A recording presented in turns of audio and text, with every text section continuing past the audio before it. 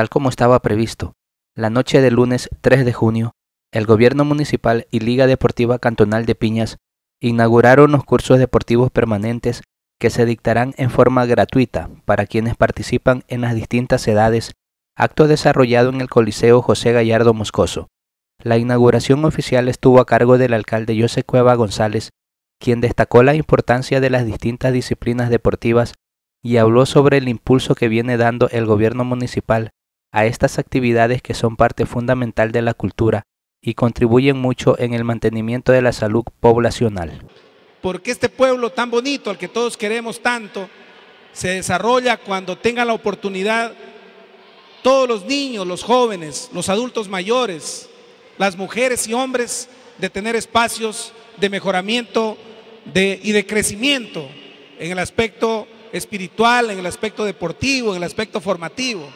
Eso es lo que nos llena. Realmente es un gusto, una satisfacción poder coordinar con este organismo tan importante como Liga Deportiva Cantonal, poder coordinar con la Federación Deportiva del Oro, que también brinda su contingente en el tema de la bailoterapia, poder coordinar también con el gobierno nacional,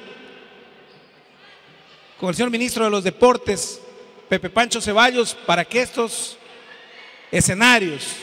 escenario al cual lo hemos remodelado, le hemos hecho las adecuaciones del caso para que esté así como está, bien bonito y que lo podamos disfrutar para el básquet, para todas las disciplinas que aquí estamos mencionando. Eso es lo que nos mueve, que haya unas baterías sanitarias decentes para que podamos estar en un camerino adecuado, para que nuestros hijos con dignidad puedan practicar las diferentes disciplinas deportivas. Lo hemos venido haciendo durante cuatro años en los cursos vacacionales, pero ahora hemos resuelto mantener escuelas permanentes. Así que hasta fin de año y de forma masiva y gratuita invitamos a todos los niños, a los jóvenes, a los diferentes directivos de los establecimientos educativos que promovamos, que se aprovechen el deseo y el compromiso de ayudar de los distinguidos maestros e instructores que con todo afecto y con todo cariño les van a pasar todo su conocimiento. Y esto forma el espíritu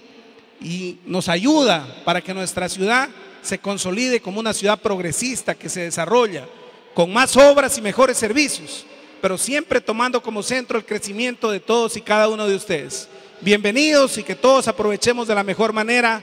estos cursos que serán permanentes y que espero que en el mes de noviembre, cuando cumplamos un aniversario más de cantonización, podamos con este coliseo totalmente lleno demostrar todo lo que hemos aprendido con el esfuerzo, con la dedicación de todos. Muchísimas gracias. Las palabras de bienvenida estuvieron a cargo del ingeniero Carlos Gallardo, presidente de Liga Deportiva Cantonal, quien presentó a los instructores licenciado Arnulfo Campoverde para básquet, señor Ángel Aguilar para fútbol, Luis Cabrera en natación, licenciado Francisco Flores para ajedrez, Eduardo Neira cheerleaders y Santiago Zumba para bailoterapia. Luego se cumplió la demostración de los integrantes del grupo de cheerleaders en medio del aplauso de todos y finalmente se llevaron a cabo los encuentros deportivos entre las ligas deportivas de Piñas y de Atahualpa.